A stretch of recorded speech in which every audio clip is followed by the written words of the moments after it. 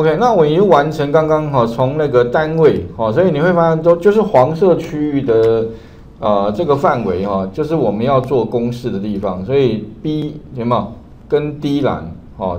跟一，所以总共有七嘛，一二三，啊，今天要完成这四个了，所以总共有七个栏位。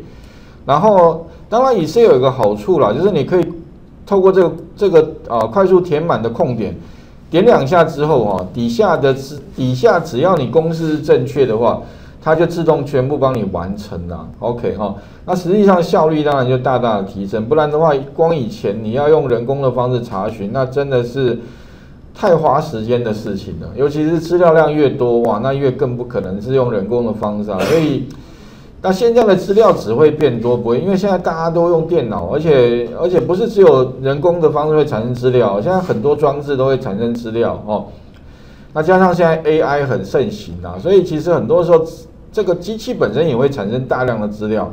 那如果说你要去做一个统计分析的话，哦，那势必还是需要用到一些工具，像 Excel 其实就是还蛮方便的一个工。那刚刚已经把这个七个栏位做出来哦，所以刚刚是合计，然后再加上名次。那名次部分我刚刚有多了一个动作啊，就是说哈，这个地方哦，后面的第二个这个啊第二个参数哦，我是把它改成定义成名称。当然如果你不定义名称也没关系，两个方法其实都可以的。不过我还是比较建议。把它定义名啊，定义名称刚刚提到啊，你就是几个，第一个就是把这个范围变成啊名称叫合计哦，那第二个的话就把这边改成合计就可以了哈，所以做法哈就是呃，你们一我的习惯啊，先取得那个名称哦，Ctrl C，二的话呢就是什么，把那个范围选起来哦，游标放 M 三，Ctrl Shift 向下，那我是建议啊，你可以把那个 Ctrl 加 Shift。再加向下这个要记，因为这个还蛮常用到的。这样它就开始帮你把 M one、M 三一直选到最下面。那选完之后，名称就是把这个名称贴到这边来。所以一把名称，我的习惯是把它先复制了哈。二的话去选范围，三就是把那个名称再贴到它的左上角哈，左上角记得左上角这个地方好，把它贴上，按 Enter，那这个名称就建立了。那我要改的话，我就是直接什么，把这个这个 rank 点 eq 在这个范围怎么样？按 F 三，那以后就有合计了。哦，就是这样啊，这样我觉得还蛮顺的。OK 哈，然后按确定，那向下填满以后呢，就完成了。OK 哈，好，那所以呢，今天呢的作业了啊，至少就是请各位一定要把这个呃。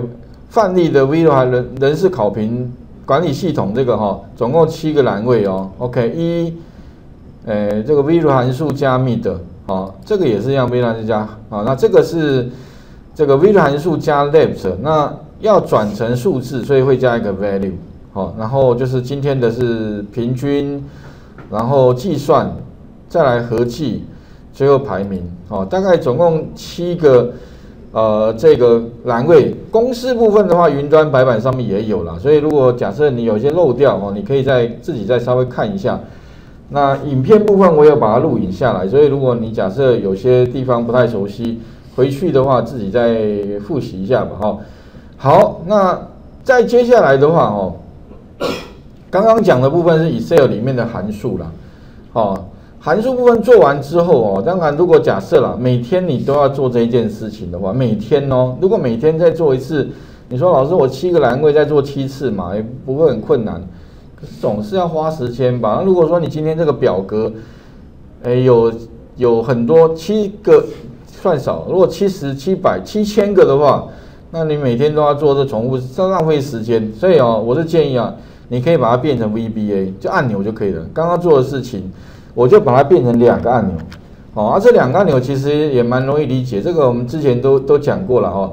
一个按钮就是按下它，先把这个旧词总总共七个栏位有没有？快速的全部帮我清掉，哦，然后呢，另外一个按钮就是全部再帮你自动完成，好，再清除一下，哎，全部清掉了，然后再按考评，哎，就自动 OK 了。也就是说，如果将来呢，你的资料有变动的时候，那你就直接按这个按钮就可以了，明白吗？马上算完，哎，这样的话其实感觉会比较你就不需要再做重复性，每天就按按钮就好了。所以很多事情工作理论上，当然我会觉得，如果你要提高效率、减少人力的话，现在很多企业啊都需要有人去做一些比较自动化的事情。就是说呢，事情不要一直重复做，浪费人力的哈。OK，那这样的话，势必第一个哈，哎，你就可以什么花少了一点时间。第二的话呢，人。也不用请那么多，哦，所以其实啊，这每现在企业都一直在思考，哎，怎么样哈可以少请人，哦，然后相对的啦，哈，就是说也比较有竞争力，哦，OK，好，所以哦，待会我们来看如何做清除，如何再增加一个考评，哦，所以待会我们就是要把右边的这两个按钮把它做出来，好啊，分别一个叫考评，一个叫清除，好。那我们就先从那个清除这个开始，因为清除这个比较简单了哈。那我们上个学期其实已经讲过如何增加按钮的这个动作了，然后只是说呢，要怎么写哈，恐怕有同学已经大家忘了差不多。不过我们再把它稍微复习一下了啊。如果将来呢你要做按钮的话，不外乎就是几件事情。第一个哈，你要先怎么样？一先把开发人员叫出来。好，这个开发人员其实应该记得吧？上面一个箭头，其他命令，预设的制定功能，制定功能区啊，预设这个是没打勾的，所以你第一件事情，请你把它打勾，它开发人员就出来了。OK 哈，好，第一件事哦。第二个的话呢，点选这个 Visual Basic，好，然后做什么呢？把这个程式写上来。那我把它写在哪里？啊，写在模组里。所以呢，如果你打开了，当然我这已经写好了，我把这个先移除掉了哈。我这个干脆我跟各位做一样的事情啊，就把这个我切到另外一个还没完成的档案好了，这样会跟大家会比较一样。好，我把它切过来。反正第一件事情哈，就是开发人员。第二个的话呢，就是 Visual Basic。然后呢，如果你要写出这个程式的话，记得哈，你要写在哪里？记得哦，好，因为我我有两个档，这个是没有完成的，这个是已经完成的，那差别就是模组了。所以呢，如果我要写程式的话，第一个先把 Visual Basic 打开，第二步的话呢，按右滑鼠右键，在这个专案的任何一个地方插入模组，这个前面讲过了哈，然后就把程式写在这边，好，按插入模组。接下来的话，我要我先写因为两个按钮嘛哈，按一个按钮就一个 sub 了，所以我先写清除啊，清除比较比较简单哈。清除的话呢，那记得如果一个按钮开头一定是一个 sub，所以打一个 sub。那如果那个按钮上面名称叫清除，你就打一个清除。好，这样就可以了。哎，我要做一个按钮叫清除哦，所以 sub 空一格清除，enter。好，这样就有了 sub 清除。然后 Enter 的话，你会发现它会帮你加刮弧跟 End Sub，哎，意思说这个程式哦，头在这个地方，尾巴在这里，所以你把程式写在这里就可以了哈。而如果你觉得字太小，你可以用工具里面的一个选项，它有个什么撰写风格哈，我希望是把字至少放到十四好了，比较大一点，按确定好。那一般习惯哦，我会把这个 Visual Basic 的画面哦，把它缩小，然后移到。我们的画面的这个什么呢？哎，右侧啦，一般右侧这样来看，那一边看一边写哦，可能会比较容易写写。所以哦，刚刚步骤哈，一把开发人员的 Visual Basic 打开，二的话呢，就是按右键插入个模组，三的话呢，直接在这边写一个你要加的那个按钮名称，好，就打 Sub 空一格清除。接下来我们就来写那个我要清除的那个程式的哈。那清除的话呢，一般是因为我主要要清 B 栏一直到 N 栏嘛，总共有七个栏位的哈。那我就写的方法的话，基本上哦，我们上个学期有讲过了哈，就是回圈先告诉哎，那一般是先哪一列到哪一列，所以呢，你就把那个回圈跟跟他讲 for。I 哦，列号等于第几列呢？哦，我第三列，一直到第四十列，所以第三到最下面刚刚看到看到是四十嘛？哈，第三到第四十，所以 for 回圈这个 i 的词指的是哪一列到哪一列。好，那我们跟他讲说列哪一列到哪一列之后的话，那如果我要删除这个 B 栏的话，哦，那不过我我我我是建议了哦，你这个公式哦，你在清除先不要清，因为你如果清除掉，当待会我们要复制公式可能会出错哈，所以我先写把程式写。那再来的话要清除这个，一直到底下的话，你就打一个 sales 储存格嘛，哪一个储存格呢？sales 第几列呢？哦，第三到四十，那你可以用 i 来代替，因为它会变化。逗点哪一栏？哦，A 栏你就先哎不不是 A 栏，B 栏哈，打一个前双引号后双引号里面加一个，那这个意思就是我从 B 三一直到 B 四十，那我要做什么？哦，把它清除，等于什么呢？等于这样就清除。OK，好，还记得吧？哈，里面把它放一个空的文字串，那意思就清除的意思。哈，那总共呢，我有几栏呢？我有七栏，所以呢，你就把这个先打好之后复制下来。那下一栏应该是哪一哪一个呢？下一个应该是 D 啦，所以就把这个改成 D，有没有？哎，D 栏删掉，然后再来下一个，所以总共有七个啦，所以你就是分别哈复制七个，然后再来改可以。那一般我习惯哈，我会用拖拉加 Ctrl 键，这样来复制会比较快一些些。甚至你可以怎么？还剩呃，这已经五个了嘛哈，还还两个，哎，再复制两个，这样比较快。OK，好，然后分别就是把那个。B 啊，这边应该是多少？哎，一黄色区域嘛，哈，然后 K L M M，所以你就分别把这个改成 K L M N，好，那就分别把这个加，啊，这样这样子做完之后的话，它就会帮你把刚刚的这个范围的资料清除了，好，不过啦，哈，我不建议你现在执行，因为如果你现在执行的话，你会把这上面的公式全部清空。那我待会我如果要写那个，诶，怎么样考评的那个按钮的时候呢？那我就无从复制这个公式了，哦。所以呢，如果我假设了哈，我要再写下一个按钮叫考评的话，其实哈，你先不要执行哦，哦，我强烈不建议，因为你一执行的话就麻烦的，除非说你有备份的，哦，除非说你你可以这样了，你可以先把这个柱砖先复制一个，然后呢，用这个来练习看看。